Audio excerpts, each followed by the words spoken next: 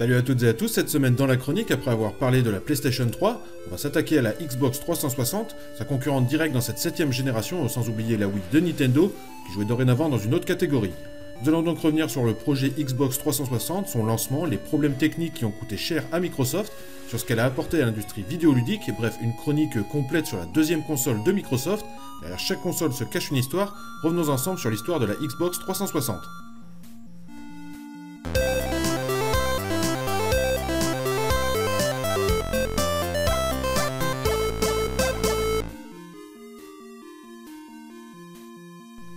Alors nous sommes en 2003, la sixième génération de consoles est en cours. D'un côté, on a Nintendo avec sa GameCube, qui malgré de bons résultats n'arrive plus du tout à concurrencer Sony et la PlayStation 2, qui dominent complètement le marché.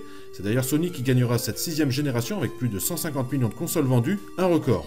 De son côté, Microsoft avait déjà travaillé avec Sega pour concevoir le système d'exploitation de la Dreamcast, en même temps qu'une petite équipe en interne dès 1999 travaillait sur un prototype de console chez Microsoft qui allait entrer sur le marché des consoles de salon. On n'avait pas vu d'entreprise américaine sur ce marché depuis l'Atari Jaguar en 1996.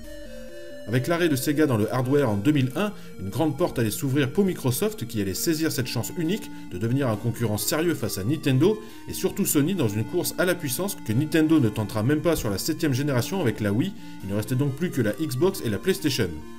Microsoft avec sa Xbox avait su séduire de nombreux joueurs avec une très bonne machine, une ludothèque intéressante, mais avait carrément un train de retard sur Sony. Après seulement 4 ans d'exploitation de la Xbox, les équipes de Microsoft décidèrent de se lancer rapidement dans la conception d'une nouvelle console dans le but de devancer Sony et sa PlayStation 3. C'est donc dès 2003 que le projet Xenon fut lancé, au détriment de noms comme Xbox Next, Xbox 2 ou Xbox HD, euh, ce qui deviendra finalement la Xbox 360.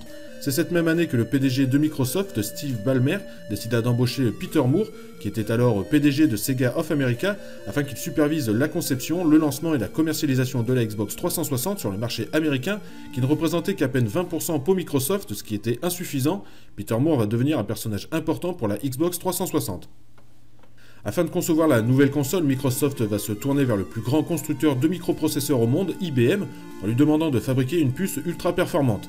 L'anecdote est assez intéressante, elle a été racontée dans un livre polémique d'anciens employés d'IBM, puisqu'en même temps que IBM fournissait des microprocesseurs à Microsoft, le PowerPC, IBM réalisera une variante très proche qu'il vendra à Sony pour sa PlayStation 3, le Cell.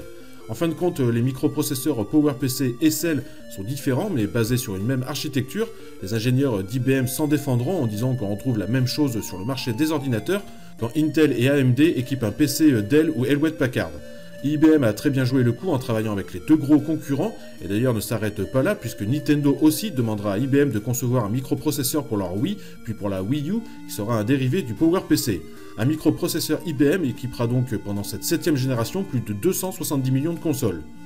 Alors que Sony et Microsoft travaillent sur leur nouvelle console, Microsoft veut absolument sortir sa console bien avant celle de Sony, et surtout ne pas rater la fin d'année 2005. Il aura fallu moins de deux ans pour concevoir la Xbox 360, et au lieu de présenter la console à l'E3 comme ça se fait en général, Microsoft décide de faire la promotion à travers une présentation officielle sur la chaîne musicale MTV au mois de mai 2005. La cible est claire, les jeunes et le marché américain, et c'est finalement dans la précipitation que la console est mise sur le marché en novembre 2005 aux États-Unis, puis le 2 décembre en Europe et le 10 décembre au Japon. Microsoft a réussi son pari pour un lancement mondial en même temps, ce qu'il n'avait pas fait pour la première Xbox, et afin de contenter toutes les bourses des joueurs, Microsoft va décider de lancer plusieurs modèles en même temps. Microsoft veut absolument réussir la commercialisation de sa nouvelle console. On entre dans l'ère de la haute définition, la Xbox sera forcément une console HD qui sera accompagnée d'une manette sans fil. La capacité de stockage va, comme pour la PlayStation 3, devenir variable selon le prix que l'on souhaite mettre. On aura donc des disques durs à 20, 60, 120 et jusqu'à 500 Go. On atteindra même 2 Teraoctets en 2015. Le microprocesseur sera donc le PowerPC fabriqué par IBM qui tournera à 3,2 GHz. Ce sera autant que la PlayStation 3 mais 4 fois plus puissant que la Wii, Nintendo ayant décidé euh, de ne pas poursuivre ses deux concurrents dans une course à la puissance jugée inutile pour la révolution vidéoludique qu'il souhaite mettre en place avec la Wii. Sur la Xbox, le processeur graphique était fabriqué par Nvidia. Pour sa Xbox 360, Microsoft décide de changer de fournisseur en prenant ceux d'ATI. Une autre guerre va se jouer entre Sony et Microsoft, c'est à propos du support utilisé pour les jeux, entre le HD DVD, conçu par Toshiba et soutenu par Microsoft, et de l'autre le Blu-ray, conçu par Sony et Philips. Cette bataille économique se jouera également dans le domaine du cinéma, certains studios soutenant l'un ou l'autre support pour la sortie de leurs films en format physique. Finalement, en 2008, le format HD DVD s'arrêtera et c'est le Blu-ray qui deviendra la norme. Sony avait su imposer le DVD avec sa PlayStation 2, il impose dorénavant le Blu-ray. Alors que le lancement de la Xbox 360 est un succès pour Microsoft aux États-Unis et en Europe, le Japon réservera un accueil plutôt glacial à la console américaine avec seulement 40 000 ventes au mois de décembre 2005 et 100 000 la première année. De nombreux problèmes vont survenir rapidement. Tout d'abord, Microsoft n'arrive pas à fabriquer assez de consoles pour les marchés américains et européens, à se demander s'il ne joue pas la carte qu'avait joué la PlayStation 2 déjà par des ruptures de stock plus ou moins intentionnelles afin de rendre la demande et l'envie encore plus fortes. Microsoft a un an d'avance sur ses concurrents et il compte bien en profiter. Et puis les problèmes d'ordre technique cette fois vont aussi faire leur apparition, alors qu'on estime à 3 ou 5% le nombre de retours des consoles aux vendeurs pour défaillance, la Xbox 360 va exploser le compteur jusqu'à plus de 50% de retours. Alors déjà, de nombreux joueurs se plaindront euh, du bruit très bruyant de la console lorsqu'elle a un jeu sur DVD-ROM, d'autres vont se plaindre que la console raye les disques.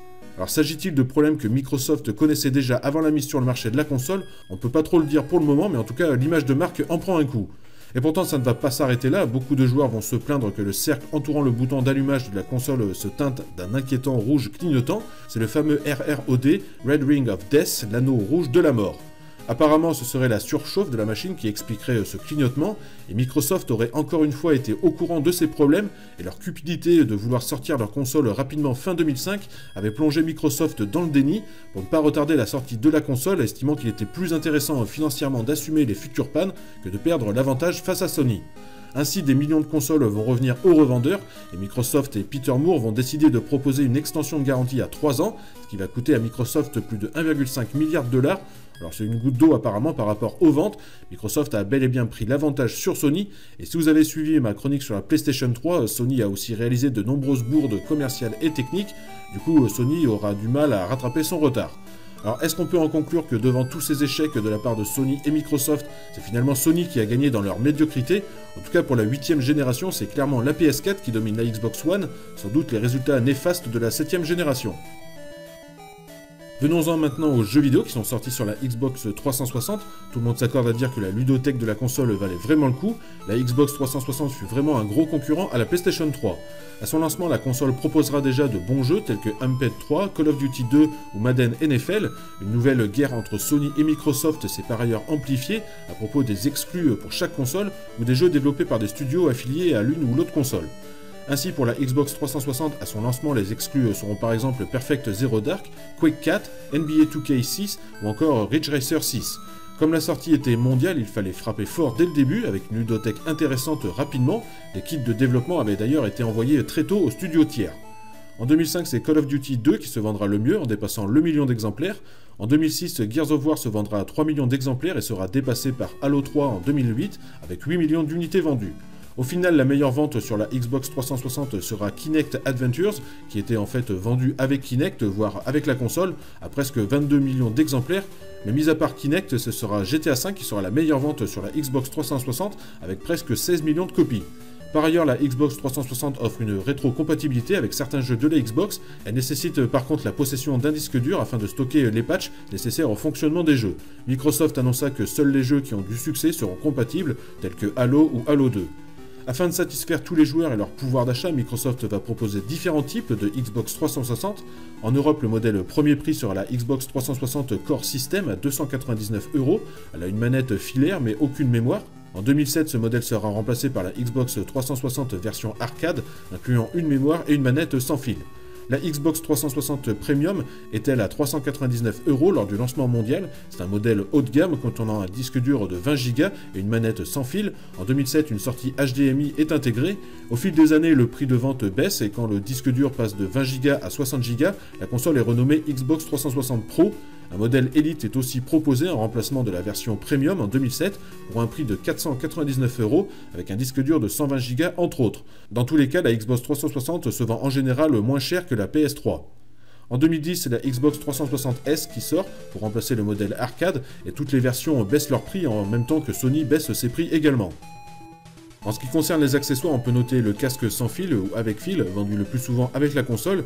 Un kit Play and Charge permet de recharger la manette sans fil tout en jouant. Un adaptateur réseau sans fil Wi-Fi est aussi intégré, mais pas lors de son lancement. Microsoft proposera deux types de manettes, une sans fil et une avec fil, et sera également un très bon succès de vente pour les possesseurs d'ordinateurs grâce à la compatibilité. C'est en 2010 que le projet Natal va devenir concret quand Microsoft sort ce qu'ils appellent Kinect, un périphérique permettant de contrôler des jeux vidéo sans utiliser de manette. Nintendo avait déjà lancé la mode avec ce nouveau genre de jeu dans les party time de la Wii par exemple, et Sony et Microsoft se doivent de répondre à leur façon. Kinect entrera dans le livre des records d'ailleurs comme l'objet high-tech qui se sera le plus vendu dans un court laps de temps, avec 8 millions de ventes en seulement 2 mois. En tout, ce sera 22 millions d'exemplaires qui seront vendus à travers le monde. A côté de ça, Microsoft va développer des services annexes sur sa console. Depuis la PlayStation 2, les consoles doivent être des centres multimédia performants afin d'attirer les joueurs pour effectuer d'autres tâches que le jeu vidéo. Le Xbox Live avait été créé en 2002, qui pour la Xbox 360 se déclinera en deux versions, l'accès Silver gratuit qui permet de télécharger des bonus, des démos ou des bandes annonces, et l'abonnement Gold qui permet plus de fonctionnalités que l'accès Silver, et particulièrement le jeu en ligne. Il permet également l'accès aux réseaux sociaux, le téléchargement de contenus payants ou non, achat de jeux, DLC ou des films. Depuis 2006, le système de vidéo à la demande est mis en place sur le Xbox Live afin de proposer des films et des séries.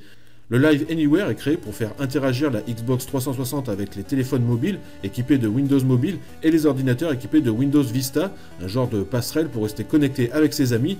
La grosse nouveauté, c'est qu'il permet aux joueurs de jouer sur le même jeu, qu'ils soient équipés d'une Xbox 360 ou d'un PC. On peut aussi citer le Xbox Live Arcade et le Xbox Live Marketplace. Et par ailleurs, autre grande réussite, c'est le XNA, un programme permettant à chacun de développer un jeu pour la Xbox 360. Ainsi, Microsoft ouvre ses portes aux développeurs indépendants qui vont inonder le catalogue de jeux plus ou moins bons. Et tout ceci contribuera au grand mouvement indépendant que l'on connaît depuis quelques années, avec des jeux qui vont devenir cultes. Ce programme sera beaucoup moins important sur la Xbox One, il se peut que les gros développeurs et éditeurs ont vu d'un mauvais œil cet afflux de studios indépendants qui venaient leur prendre quelque part de marché. En tout cas, parti avec un an d'avance sur la PlayStation 3 et la Wii, la Xbox 360 aura maintenu son cap pendant les premières années de sa commercialisation. Alors bien sûr, c'est la Wii qui se sera le plus vendue, mais pendant très longtemps, la Xbox 360 est restée deuxième devant Sony. Microsoft a donc largement réussi son pari de devenir un concurrent sérieux, Sony avait sous-estimé Microsoft. Il faudra attendre finalement 2015 pour que la PlayStation 3 euh, dépasse les ventes de la Xbox 360. Au total, plus de 85 millions de consoles Xbox 360 auront été vendues.